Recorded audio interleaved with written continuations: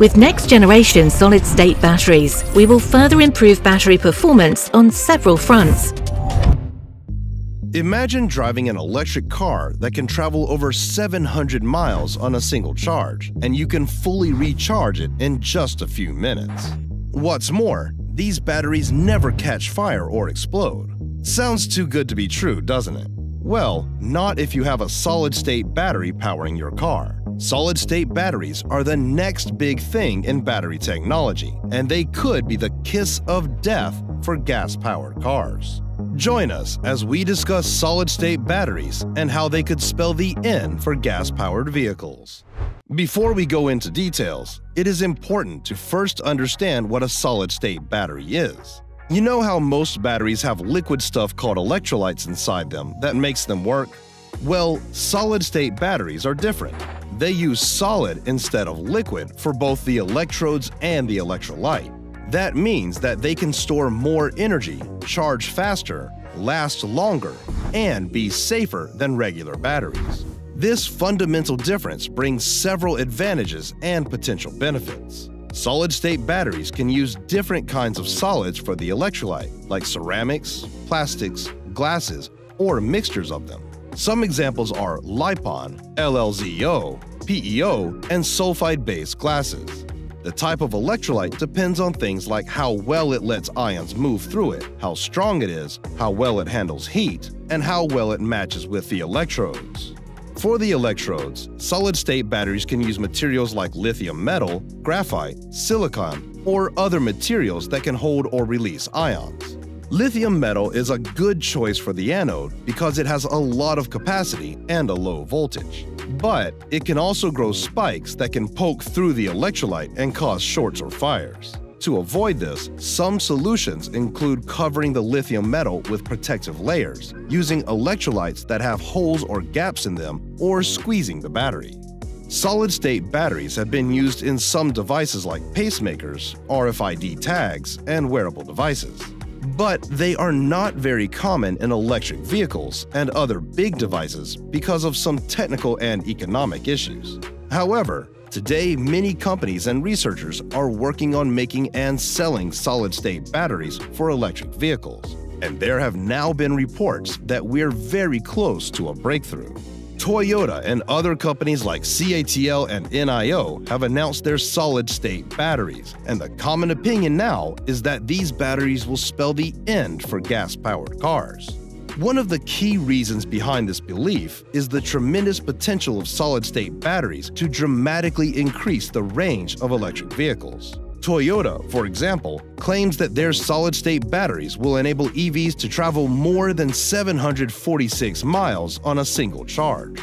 This is more than the range of most petrol-powered cars currently available on the market. And it's fair to say that such an impressive performance leap has the power to capture the attention of consumers and make them take notice of the EV market. Range anxiety has been a significant concern for potential EV buyers. The fear of running out of charge and being stranded has often deterred people from embracing electric mobility. However, solid-state batteries hold the promise of mitigating this anxiety. Another reason why these batteries could end the domination of gas-powered vehicles is that solid-state batteries, unlike conventional lithium-ion batteries, have the potential for fast charging times, allowing EV owners to recharge their batteries in minutes rather than hours. This would make recharging an EV as convenient as refueling a gas-powered car. Toyota claims that its batteries can charge fully in 10 minutes. And apart from that, undoubtedly, electric vehicles already have a significant advantage when it comes to operating costs compared to their gasoline-powered counterparts. EVs typically cost about half as much to power per mile as traditional internal combustion engine vehicles. This cost advantage is poised to be further amplified with the advancements Toyota and other companies are making in battery life and charging technology. Public charging stations charge per minute, so this means that if EVs only need to spend 10 minutes charging, the amount to be paid will be reduced drastically. Additionally, as the charging infrastructure continues to expand, it is expected that charging costs will become more competitive and affordable. This will further enhance the cost advantage of EVs over time. When considering the combined benefits of lower operating costs per mile and the potential reduction in charging expenses, it becomes evident that owning an EV is becoming increasingly cost effective compared to conventional gas powered vehicles. At the end of the day, people are naturally drawn to systems that don't burden them with high maintenance costs. This is precisely why gas powered vehicles might find themselves in a bit of trouble. As you may be aware, the price of petrol has been steadily climbing, and unfortunately, there are no signs of it coming back down anytime soon. When considering the overall cost of ownership, maintenance expenses play a crucial role. Electric vehicles hold a distinct advantage in this aspect. Compared to traditional gas powered cars, EVs generally require less maintenance. The absence of complex internal combustion engines, oil changes, and exhaust systems means fewer moving parts to worry about. Consequently, EV owners can breathe a sigh of relief knowing that they'll be spared from frequent visits to the mechanic and the accompanying hefty repair bills. Furthermore, the rising price of petrol only adds to the appeal of EVs. With each surge in petrol prices, the cost differential between driving an EV and a gas powered car widens. EV owners can bypass these ever increasing fuel costs altogether and embrace the benefits of cheaper electricity to power their vehicles. Charging an EV at home overnight or at public charging stations becomes a much more cost effective alternative to constantly fueling up with expensive petrol. Toyota claims that its solid state batteries will roll out in 2027, so we could say that's all the time that gas powered vehicles have left. There are also other manufacturers trying to make solid state batteries mainstream.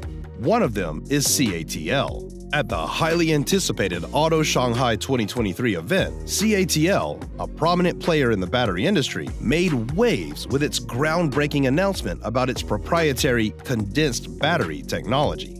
This revolutionary battery has generated significant excitement and has the potential to reshape the landscape of energy storage. The standout feature of CATL's condensed battery is its remarkable energy density, which reaches up to an impressive 500 watt-hours per kilogram. It's important to note that while CATL markets its condensed battery as a solid-state battery, it actually uses a polymer gel-like electrolyte, making it a semi-solid-state battery. This distinction sets it apart from traditional solid-state battery designs. However, this technical nuance does not diminish the significance of the breakthrough achieved by CATL. The condensed battery's impressive energy density, coupled with CATL's commitment to advanced battery technology, has sparked great interest and anticipation. Also, NIO, a prominent EV manufacturer, has introduced a new 150 kilowatt hour semi solid state battery pack alongside their existing battery types. NIO's 150 kilowatt battery, supplied by Beijing WeLion Energy Technology, offers an impressive energy density of 261 watt hours per kilogram. This density surpasses CATL's 100 kilowatt hour packs and provides a 44.44% increase in energy density compared to CATL's unit, which stands at 180 watt hours per kilogram. Despite the slight weight increase of 20 kilograms compared to the CATL packs, the enhanced energy density of NIO's batteries contributes to improved performance and extended driving ranges. The 150 kilowatt hour battery pack consists of 384 cells, a significantly higher count than the 96 cells found in CATL's unit. The additional cells and higher energy density translate to increased storage capacity, allowing EVs equipped with these batteries to travel farther on a single charge. During the NIO Day event in January 2021, the Chinese carmaker made a big splash by unveiling its flagship ET7 electric sedan. Alongside the car, NIO also showcased its solid state battery technology, claiming it could deliver an impressive range of over 620 miles. However, it's important to note that SUVs, due to their less aerodynamic design and potential for greater weight, may have a slightly lower estimated range. For example, NIO's ES6 SUV is expected to have a range of around 930 kilometers, 577 miles. Nevertheless, NIO is continuously working on advancements, and future sedans from the brand could potentially exceed a range of 600 miles with a new solid state battery pack. It's essential to consider that range figures can vary depending on factors such as regional conditions and testing cycles. Real world performance may differ from the stated figures. NIO has encountered challenges in scaling up production and achieving cost parity with current battery technology.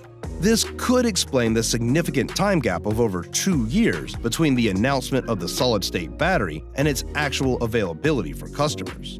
Developing and refining new technologies takes time, and NIO is working diligently to ensure a successful integration of solid state batteries into their electric vehicles. One thing is clear though, and it is the fact that the days of gas powered vehicles are numbered as this new technology will no doubt phase out ICE vehicles.